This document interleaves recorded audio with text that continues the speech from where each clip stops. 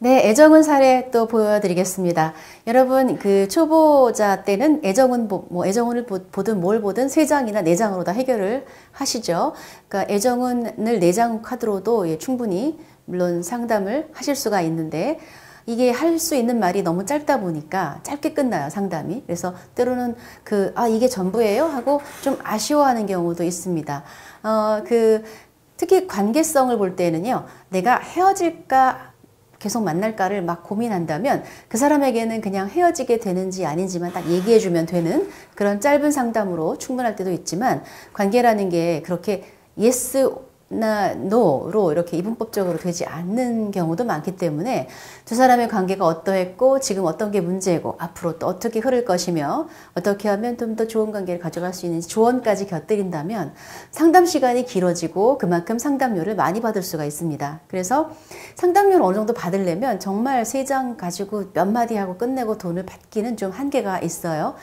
자, 물론 매직 세븐으로도 애정운을 볼수 있다고 말씀드렸고, 이제 장수가 좀 많아지는 경우가 켈틱 크로스죠. 그래서 켈틱 크로스로 여러분이 애정운을 볼수 있는데, 그 카드 역시 어때요? 어떤 사람이 질문자인지, 어떤 카드가 상대인지 사실 구분하기 어려운 면이 있을 수 있습니다. 그래서 상대와 나를 구분하는 배열법이 아홉 장 배열법인데, 어, 또이 외에도 또 다른 어떤 배열법이 몇 가지 더 있는데요. 어, 앞 시간에도 했던 그 상대를 뽑고 나를 뽑고 관계를 뽑는 쉬운 배열법을 하나 더 사례를 보여드리고 그 다음에 또 다른 방식으로의 아홉 장 카드를 이번 강의에서는 보여드리려고 합니다. 자, 첫 번째 질문 보시죠. 이 질문은요. 그 여기 보시면 애정운에서 40대 중반 여성이라고 되어 있죠.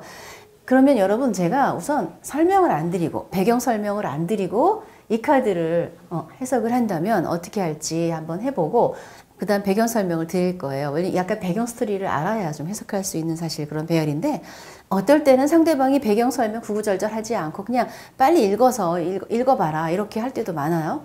그래서 이제 그 주, 질문자는 40대 어, 여성입니다. 음, 중반의 여성이고 지금 어떤 남자친구를 만난 지 얼마 안 된 상태인데 보통 저희 할 때는 어땠어요? 상대 먼저 뽑았잖아요. 그러니까 이게 상대. 네, 여기가 나. 관계. 그럼 이건 뭘까요?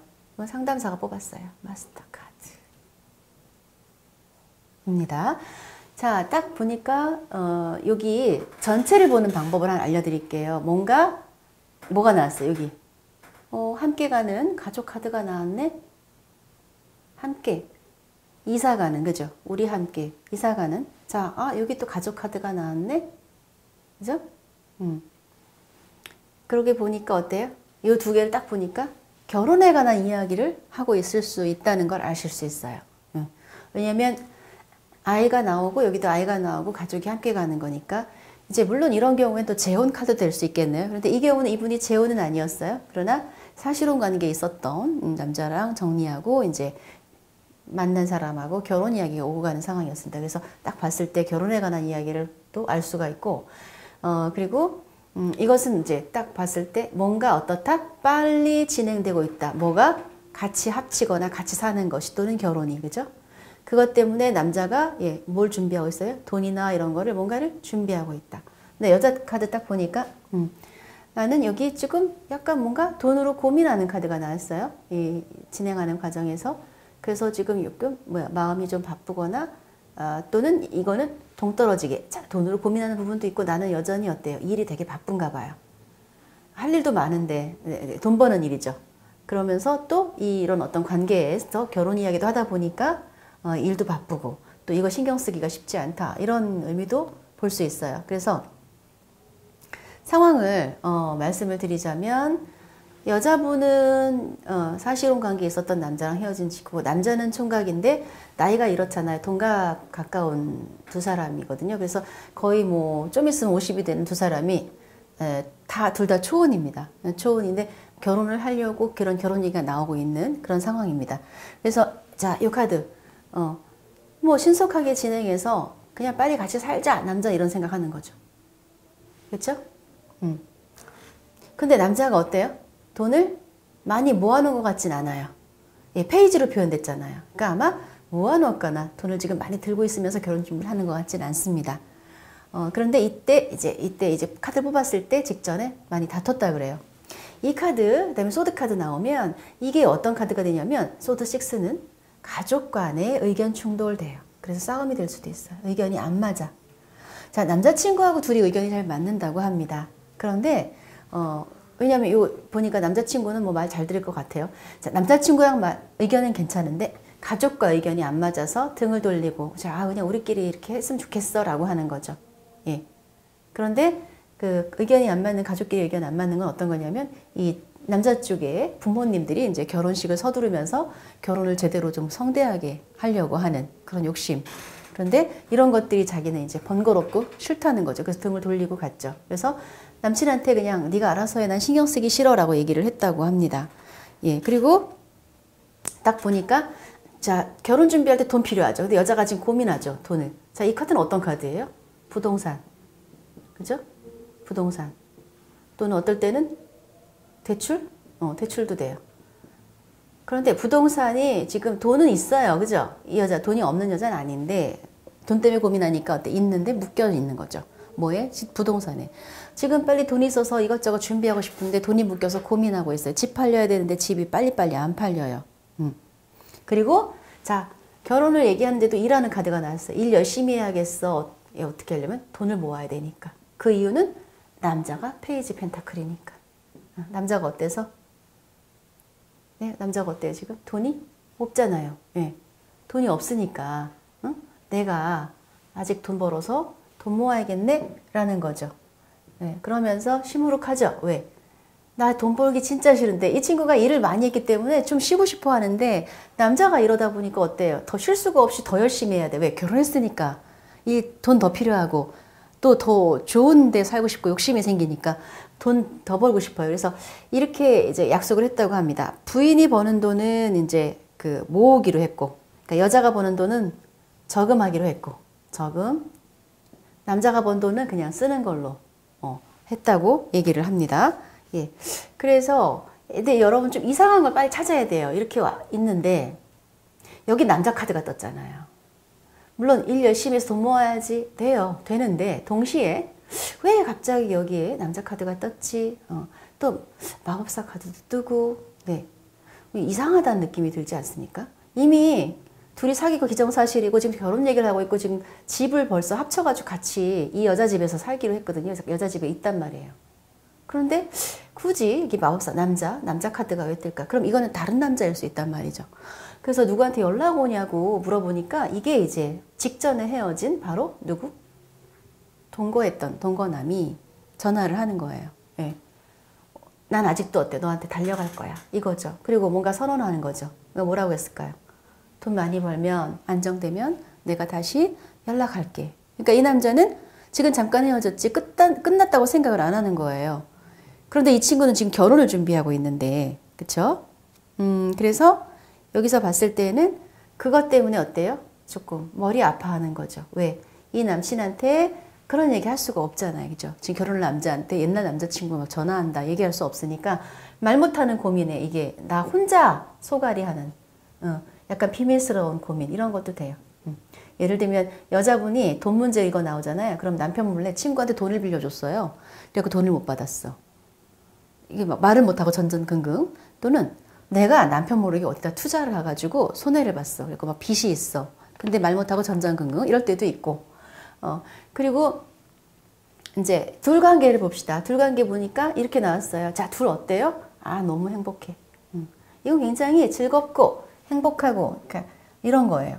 어, 예를 들면은 여러 가지 의미가 있을 수 있는데 컵으로 나오고 또 그러면은 자 우리들이는 그냥 마음이 잘 맞아요 이런 건데 아, 이런 거는 육체적으로도 잘 맞고 그리고 어때요? 즐겁다는 뜻이. 그러니까 만나면 즐거워요.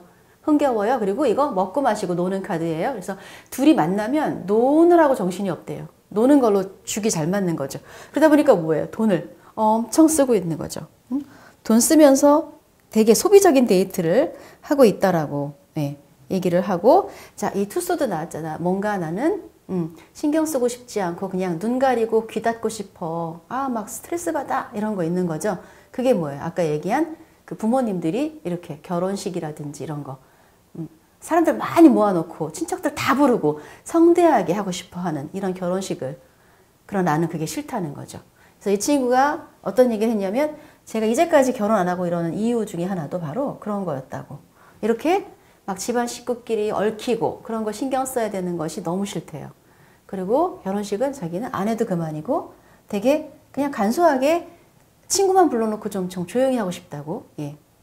그렇게 얘기를 합니다. 그리고 관계에서 이제 이, 이, 마법사 카드가 나왔잖아요. 그러면 이거는 다른 남자도 되지만 또 동시에 어때요? 어, 이 사람의 그 남친, 지금 만나는 결혼하려고 하는 남자도 되겠죠. 그래서 어때요? 여러분? 그 남자의 성향이 이렇다. 성향이 이렇다는 거고요. 제가 계속 말씀드리는 게 뭐예요? 같은 카드 배열에서 두 가지 이상의 이야기를 읽을 수가 있고 한 카드가 두 사람을 동시에 나타낼 수도 있다 그랬죠. 그러니까 어떤 그 옛날 남친이 전화하는 것도 맞고요. 네? 그것도 맞고 또 이 남친 성향도 현재 남친 성향도 이렇대요. 말이 너무 많대요. 아주 말 들어주는데 지칠 정도로 말을 많이 하고 말을 많이 하고 그 다음에 어때요? 말을 막 앞세우죠. 말을 앞세우는데 약간 허, 허이라고 할까? 허, 허풍이라고 할까? 조금 그 지나친 자신감, 과도한 자신감, 너무 자신감에 차 있는 모습. 그러면서 어린애 같고 자기 얘기만 하고 남의 얘기 안 들어주잖아. 마법사. 들어줄 겨를이 없죠. 그래서 이 카드는 이렇게 연결해서 나왔으니까요. 이렇게 볼 수도 있죠. 이 남자의 마법사적인 성향으로 인해서 어, 당분간 어떨 것이다? 골 아플 것이다. 좀속좀 썩을 것이다. 이런 이야기를 할 수도 있는 거죠. 어, 아마 굉장히 둘이 지금 좋아가지고 거의 뭐 너무 너무 좋아서 난리 났는데 조금 시간이 지나면 지금도 이런 성향 때문에 살짝 좀 지, 힘들어 하는데요. 앞으로도 아마 이 사람이 약간 아마 실제보다는 본인이 말하고 내세운 것들이 좀 과장됨이 있을 것이다. 그래서 그걸로 인해서 약간 어때요?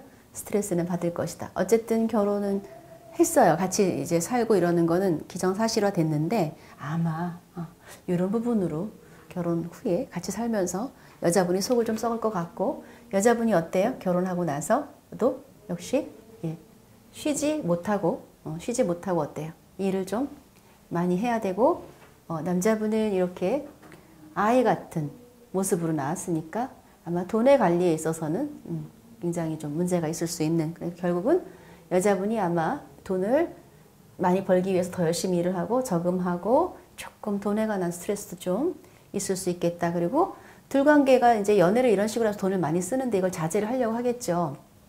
근데 약간 남자의 성향에서도 이렇게 좀 과소비적인 면이 있지 않을까. 예. 그런 부분으로도 살짝 좀 스트레스를 좀 받거나 그럴 수 있지 않을까. 예. 이런 생각을 해볼 수가 있죠. 그래서 어, 아홉장 배열법 음, 보셨습니다. 뭐 이거 때문에 지금 뭐 이렇게 헤어지나 이렇게 볼 수는 없을 것 같고요. 어, 왜냐하면 이제 이런 카드들이 이렇게 명확하잖아요. 네.